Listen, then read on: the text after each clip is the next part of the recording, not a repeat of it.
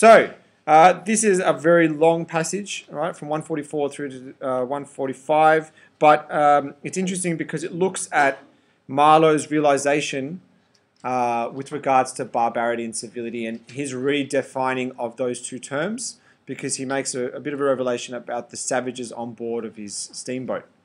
Okay? So, just starting at the top. Uh, I went forward and ordered the chain to be hauled in short so as to be ready to trip the anchor and move the steamboat at once, if necessary. Will they attack? whispered the awed voice. We'll be all butchered in this fog, murmured another. The faces twitched with the strain, the hands trembled slightly, the eyes forgot to wink. It was very curious to see the contrast of expressions of the white men and of the black fellows of our crew, who were as much strangers to that part of the river as we, though their homes were only 800 miles away. The whites, of course, greatly discomposed, had besides a curious look of being painfully shocked by such an outrageous row. The others had an alert, naturally interested expression, but their faces were essentially quiet, even those of the one or two who grinned as they hauled at the chain. Several exchanged short, grunting phrases which seemed to settle the matter to their satisfaction. Their headman, a young, broad chested black, severely draped in dark blue fringed clothes, with fierce nostrils, and his hair all done up artfully in oily ringlets, stood near me. Aha, I said, just for good fellowship's sake. Catch him, he snapped, with a blood-shot widening of his eyes and a flash of sharp teeth. Catch him, give him to us. To you, eh? I asked. What would you do with them? Eat him, he said curtly, and leaning his elbow on the rail, looked out into the fog in a dignified and profoundly pensive attitude. I would no doubt have been properly horrified had it not occurred to me that he and his chaps must be very hungry, that they must have been growing increasingly hungry for at least this month past. All right, before we move into this little revelation, for starters, you get a contrast in this opening between uh, how the the white people view uh, the howling that they're hearing and how the black people view it. Right? One group views as it uh, views it in a in a horrific way. They're petrified. They're really concerned. The others are curious. Okay, so uh, that's already a real clear distinction between how people view others. Because for the um, the native crew that are on board, this is not their their area of origin. They wouldn't have belonged to this place. You know, even though they're not as further away as the, the Europeans, they're still, what is it, 800 miles? Yeah. Right? So they're not from around here, okay? But there is a contrast between, you know, horrified Europeans. So the black men were curious and the white men were just out there. Yeah. Okay, so horrified Europeans and curious natives, right? Curious natives who are looking at it, and uh, Marlow is picking up on this distinction, right? So that's the first thing that intrigues him. The next thing that intrigues him is um, he comes to a realization after they've had this conversation about the fact that, hey, catch them, we're hungry. That'll be dinner for us. So uh, on the surface, on the surface, um, the natives actually seem barbaric because they are actively promoting this idea of cannibalism, which from a Western perspective we consider to be barbaric, right? So on the surface, um, you can use Conrad here.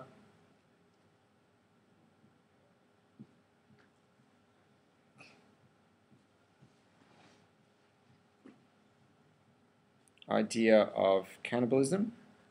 Okay, you've got that on the surface. But then, so uh, on the surface, Conrad reinforces the barbaric idea of cannibalism. We see that. Yeah, we're all shocked. Oh my goodness, they want to eat. Right? You know, look at the imagery that he uses with bloodshot, widening of his eyes, and a flash of sharp teeth. You get quite vivid imagery that reinforces that that idea. Oh my goodness, this is this is savage. This is barbarous, right? Uh, But then idea of cannibalism. On the surface, On the surface, Conrad reinforces the barbaric ideas of cannibalism. Right? And you get that in some of the language. It's reinforced with the imagery he uses of what this savage looks like. Right? Bloodshot eyes, really sharp teeth. Okay? But then you get a shift. Right? The next part of it is where you get the shift. He actually makes this realization that these guys haven't eaten in ages. Okay? So, if you have a look, they're increasingly hungry for at least this month past. Right? It's quite an expansive amount of time. They had been engaged for six months. I don't think a single one of them had any clear idea of time as we at the end of countless ages have. They still belonged to the beginnings of time, had no inherited experience to teach them, as it were. And of course, as long as there was a piece of paper written over in accordance with some farcical law or other made down the river, it didn't enter anybody's head to trouble how they would live. Certainly, they had brought with them some rotten hippo meat, which couldn't have lasted very long anyway, even if the pilgrims hadn't, in the midst of a shocking hullabaloo, thrown a considerable quantity of it overboard. It looked like a high handed proceeding, but it was really a case of legitimate self defense. You can't breathe, dead hippo walking, sleeping, and eating, and at the same time keep your precarious grip on existence. Besides that, they had given them every week three pieces of brass wire, each about nine inches long, and the theory was that they were to buy their provisions with that currency in riverside villages. You can see how that worked, right? You know, he's actually showing a level of sarcasm here to the idea of them, you know, paying these savages. Why is he showing sarcasm? Well, here's why. There were either no villages, or the people were hostile, or the director, who, like the rest of us, fed out of tins, with an occasional old he goat thrown in, didn't want to stop the steamer for some um, more or less recondite reason. So, unless they swallowed the wire itself or made loops of it to snare the fishes with, I didn't see what good their extravagant salary could be to them. I must say it was paid with a regularity worthy of a large and honourable trading company. For the rest, the only thing to eat, though it didn't look edible in the least, I saw in their possession was a few lumps of some stuff that looked like half cooked dough, of a dirty lavender colour. They kept wrapped in leaves and now and then swallowed a piece of, but so small that it seemed done more for the looks of the thing than for any serious purpose of sustenance. And here's the revelation. Okay? Why, in the name of all the gnawing devils of hunger, they didn't go for us. They were 30 to 5 and have a good tuck in for once. Amazes me now when I think of it. They were big, powerful men with not much capacity to weigh the consequences with courage, with strength, even yet, though their skins were no longer glossy and their muscles no longer hard. And I saw that something restraining one of those human secrets that baffle probability had come into play here. So he's actually referencing humanity now in the same way that a few passages ago he was making that revelation that they were not inhuman. So he's now addressing that human secret. I looked at them with a swift quickening of interest, not because it occurred to me I might be eaten by them before very long, though I own to you that just then I perceived in a new light, as it were, how unwholesome the pilgrims looked, and I hoped, yes, I positively hoped, that my aspect was not so, what shall I say, so unappetizing, a touch of fantastic vanity which fitted well with the dream sensation that pervaded all my days and that time. Perhaps I had a little fever too. One can't live with one's finger everlastingly on one's pulse. I had often a little fever or a little touch of other things, the painful poor strokes of that wilderness, the, prelim- the preliminary trifling before the more serious onslaught which came in due course. Yes, I looked at them as you would on any human being with the curiosity of their impulses, motives, capacities, weaknesses when brought to the test uh, of an inexorable physical necessity. Restraint. What possible restraint? Was it supposition, disgust, patience, fear, or, over the page, some kind of primitive honor? No fear can stand up to hunger no patience can wear it out. Disgust simply does not exist where hunger is, and as to superstition, beliefs, and what you may call principles, they are less than chaff in a breeze. Don't you know the devilry of lingering starvation, its exasperating torment, its black thoughts, its somber and brooding ferocity? Well, I do. It takes a man all his inborn strength to fight hunger properly. It's really easier to face bereavement, dishonor, and the perdition of one's soul than this kind of prolonged hunger. Sad but true. And these chaps, too, had no earthly reason for any kind of scruple. Restraint. I would just as soon have expected restraint from a hyena prowling amongst the corpses of a battlefield.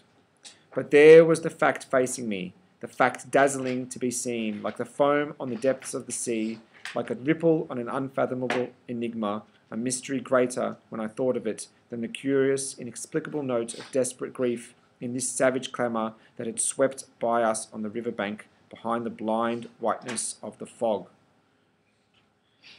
He's pointing out all the way throughout his amazement at their restraint.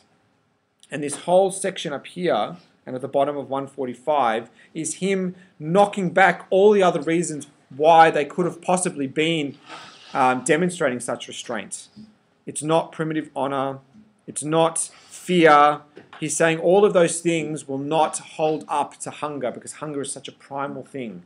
It's something else, right? And he's actually really confused by it. And it's, it's one of those moments in the text where you do get to see uh, uh, that impression that um, these people aren't as dark as they're made out to be. They may be labeled as savages, but they're not obviously as dark. They're showing more restraint than the white people there. And if you recall, we talked about contrasts before we started reading this text. And this is one of those examples of contrast. He's seeing these uh, black savages, all right, demonstrating an inner strength which is far more pure than any of the white people that are on board this ship. I mean, some of those white people had thrown over their food, right? Because of the smell. He says it down the bottom, all right? He actually, he actually justifies it and says it's self-defense. So down the bottom of 144, I looked at, it looked like high-handed proceeding, but it was really a case of legitimate self-defense. We were going mad, eating, sleeping, walking, dead hippo. Right? So they'd, they'd had enough of it. But they weren't taking into consideration the fact that these savages actually needed that to eat. So this passage is a very long passage, and you, you have to pick and choose what you get out of it because it does drift a little bit. But there's a lot in there that talks about this contrast that makes the comparison. So, example, there's food for the white pilgrims. They didn't give that to blacks. No, they didn't give the tins of food that they had to the black people. Um, what they did was paid them in copper, which is what he's talking about uh, in this top section of 145. They actually paid them. They paid them a very good wage.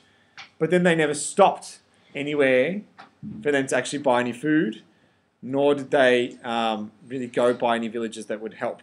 So you can see how, when he's looking at it from a, a distance, he's actually looking at what the white people were doing and going, this is a really um, not stupid bit of behavior, but more so um, really uncaring way to treat these people who are working on the steamboat for, you know, six months, right? Wait, were they like indentured servants or were they just like workers? They, They were workers, so they were contracted workers, but, you know, a contract, and he, again, he mentions this as well, some contract that was drawn up at an office up the river that really meant nothing to these savages other than the fact that they were recruited.